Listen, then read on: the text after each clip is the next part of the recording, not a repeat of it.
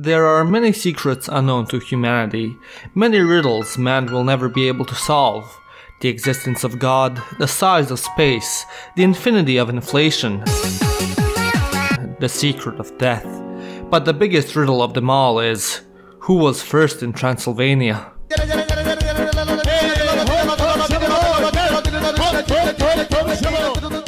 When browsing the internet, one is prone to interacting with people from all over the world, and also observing different cultures interact with each other. For many of us, the most well-known rivalries on the internet are of those between the English and the French, Dad, are you dumb? Are you getting rude to man? the Europeans and Americans, and the Serbians and Albanians.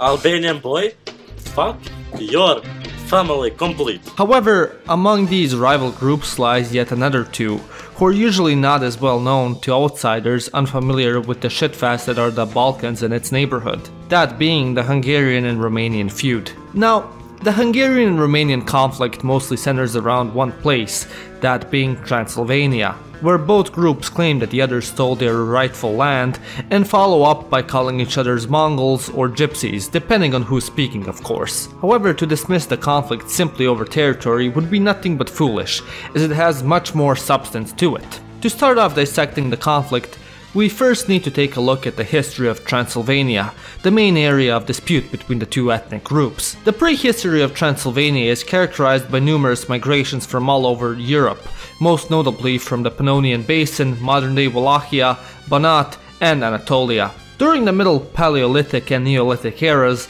the status quo was Cavemen came, cavemen went. Everything changed in the 14th century BC when new invasions coming from Central and Eastern Europe destabilized the people living there. The newcomers formed the Gava culture, theorized to be the predecessors of the Dacians, by intermingling and interbreeding with the local population. After the Gava came Asian horsemen who raided and plundered the area, making many locals move from the area abandoning their settlements, which the new coming Asian invaders settled in. With the depopulation of Transylvania, many Celts who were migrating throughout Europe decided to settle in the area. With their arrival and the intermingling with the locals, the famous Dacians emerged and founded their kingdom in 168 BC. For the next 280 years, Transylvania was under Dacian control until in the 2nd century AD, the Romans conquered the kingdom. In the 3rd century again, Transylvania relived a shock as again the land became overrun with invading tribes such as the Carpi, Visigoths, Huns, Gepids, Avars, and Slavs.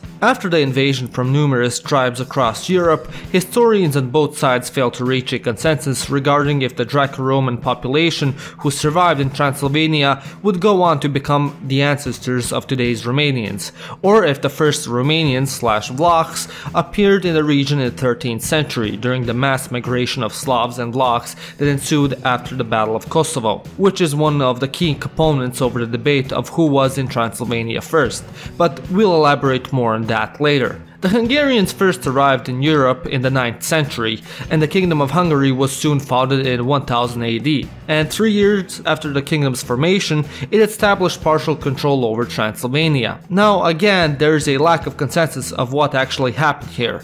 Some historians claim that uh, the Hungarians started populating Transylvania between the 10th and 13th centuries, while others claim that the land was already settled with them before due to the previous tribal migrations that ensued earlier in the millennium. For the next 500 years, Transylvania was a voivodeship under Hungary.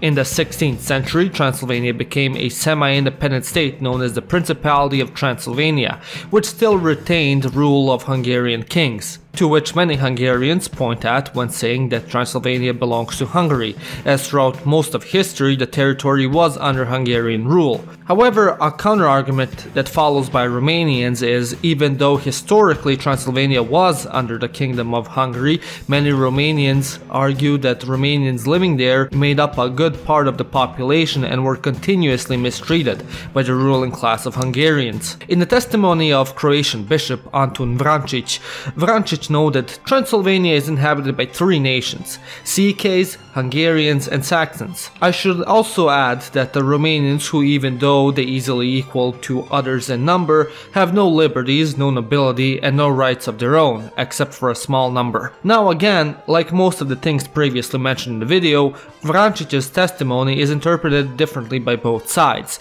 and many Hungarians would dispute the bishop's claims. After the defeat of the Ottomans, Transylvania came under Habsburg rule, and under the Austrian Empire, the territory had a significant amount of autonomy and was separately administered from Hungary, although the Austrian rulers acknowledged it as the lands of the crown of Saint Stephen slash István. After the Hungarian Revolution and the formation of Austria-Hungary, Transylvania was fully incorporated under the administration of Hungary, to which many Romanians were dismayed. After the First World War, the Austro-Hungarian Empire was dismantled with the Treaty of Trianon, which to this day stands very controversial with many Hungarians, as 70% of the country's territory was stripped away from them, and the new borders did not follow ethnic lines, which left many Hungarians, around 31%, which numbered at around 3.3 million, under the jurisdiction of newly formed Yugoslavia, Czechoslovakia, and Romania. Transylvania at the time boasted a Hungarian population of around 1.3 to 1.6 million, which was around 25 to 31% of the territory. In 1940, northern Transylvania was given to Hungary during the Second Vienna Award, however that still didn't fix the problem as a hefty amount of both Romanians and Hungarians still resided in both countries. Within the territory Hungary received during the award,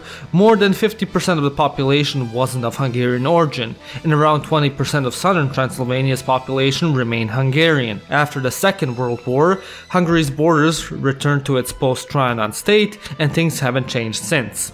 Essentially, within the historical aspect, Hungarians and Romanians clash when it comes to the ethic and ethnic ownership of Transylvania. As several different studies and reports claim different origin theories, both sides claim that there was there first, and by default they have first laid claims to Transylvania. On top of that, Hungarians claim that historically Transylvania was under the rulership of Hungary and thus is rightful Hungarian land. Meanwhile, Romanians claim that while yes, Transylvania was under Hungary's banner, the Romanians living there were equal in number and they were mistreated by the Hungarians and discriminated based on their ethnic origin through programs of Magyarization. However, things don't end just there, as there are many aspects of modern life and policy that influence the relationship of the two. For starters, Transylvania today is a multicultural society, where 70% of the population are Romanians, 17% Hungarians, 4% Gypsies, and the rest are others such as Ukrainians and Germans. With that being said, many of the issues in Transylvania stem from that, and, and ultimately influence the Hungaro-Romanian relations. As Hungarians are around 17% of the total area's population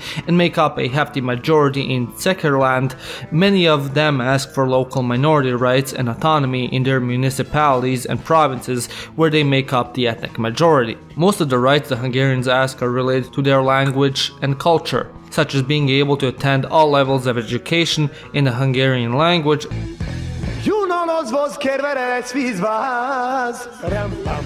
as well as having ethnic representation in government institutions related to their communities. In theory, the Hungarian minority has extensive support for its culture and language in all subjects in all levels of education, except for the subjects of grammar and Romanian literature. As well, in the villages inhabited by at least 20% minority representatives, the government is obliged to offer them access to administrative services in their language, and bilingual signs and notice boards are also erected in those municipalities. Yet, many Hungarians complain that these rights are not always fully respected. Meanwhile, many Romanians claim that their Hungarians are gaining too much special treatment and are not integrating enough into society, as many, mostly located in Szeklerland, struggle to speak Romanian. Because of these government programs and Hungarian calls for autonomy, the loyalty of Romanian citizens of, of Hungarian ethnicity to the Romanian state is often questioned. One of the key things that has influenced this is also that many, if not most Hungarians in Transylvania have dual citizenship. Alongside this, the Hungarian government has financially supported the diaspora in Hungary in several ways, mostly through financial and political aid, which brought the Hungarian population even more distrust from the Romanians. The ultimate fear of Romania Romania is the idea of Hungarian secession from Romania, while for Hungarians it's the loss of their cultural identity. Of course, all that I said can be debated and argued by both sides, and I highly recommend that you do your own research and read more on the topic if you're interested. All the sources I used for the video will be in the description. Thanks again to the channel members, especially Julian Apostasies and Mickey D, you guys rock, and special thanks to the people who helped me writing this video. Laxio, Valentine, Free Spy, Agent Cobalt, and Wild East Guy. You've watched Living Ironically in Europe, and I'll see you next time.